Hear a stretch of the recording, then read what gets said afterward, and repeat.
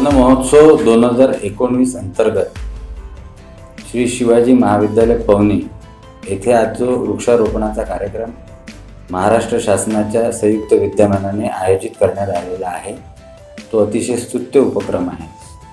आणि त्या स्तुत्य उपक्रमाला मी शिवाजी शिक्षण संस्थेतर्फे शुभेच्छा देतो. आज समाजाला वृक्षारोपणाची जशी गरज आहे त्याचसोबत वृक्ष संवर्धन climate change carbon emission global warming पर्यावरणाची निगा ह्या सर्व महत्त्वाच्या विषयांकडे समाजाने पाहणे गरजेचं आहे.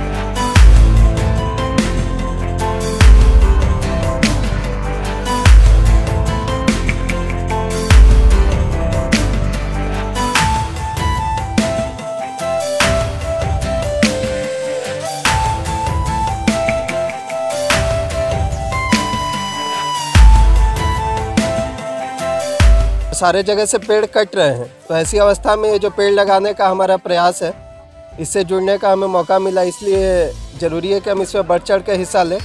और उम्मीद करते हैं कि आगे भी इस इस ड्राइव से लोगों को इंस्पिरेशन मिलेगा। अपने वजह से जो एटमोसफेयर बिगड़ गया है इसको सुधारने का जो ज़िम्मेदारी है वो हमारी है।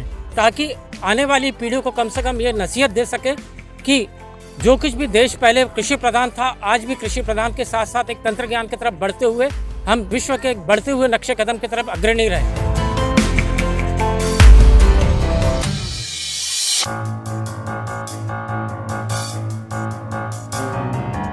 भविष्यात आपल्याला एक हिरवं असं देश मिळेल आणि जेही ग्लोबल वॉर्मिंगचे आणि डिफॉरेस्ट्रेशनचे बॅड इफेक्ट्स आहेत, त्याच्यापासून लढण्यासाठी हा प्लांटेशन आणि ही लोक चळवळ नक्कीच ही कामी येईल अशी मी अपेक्षा करतो. आज जे वनमहोत्सवाने वनमहोत्सवानिमित्त इथे प्लांटेशन झालं तर त्याच्यामध्ये जवळजवळ शेहेचाळीस प्रकारच्या आपण देशी वनस्पती लावल्या आणि जवळजवळ अकरा हजारपेक्षा जास्त वर फ झाडांचं मुलांच्यामध्ये वगैरे वाटप केलं. ह्याच्यामध्ये औषधी वनस्पती फुलपाखरांना आकर्षित करणाऱ्या वनस्पती त्याच्यानंतर पक्ष्यांना आकर्षित करणाऱ्या वनस्पती.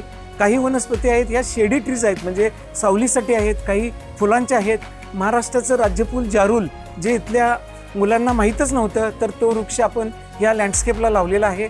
तर आज जे त्यांच्या मनामध्ये रोपण झालेलं आहे ते प्रत्यक्ष त्यांच्या कृतीमध्ये येईल असा आशावाद मी या निमित्ताने व्यक्त करतो. आपण या प्लांटेशनमध्ये project green hand by अभिगॅन foundation असा एक नवीन उपक्रम राबवून आपण पवनी तालुक्यातल्या शाळांमध्ये आपण झाडं डोनेट केलेली आहेत आणि त्या शाळेतील विद्यार्थ्यांना त्या पर्टिक्युलर झाडाचं आपण पालकत्व देऊन तो झाड त्यांच्या मुलासारखं त्यांना जपायला आपण त्यांना सांगितलेलं आहे.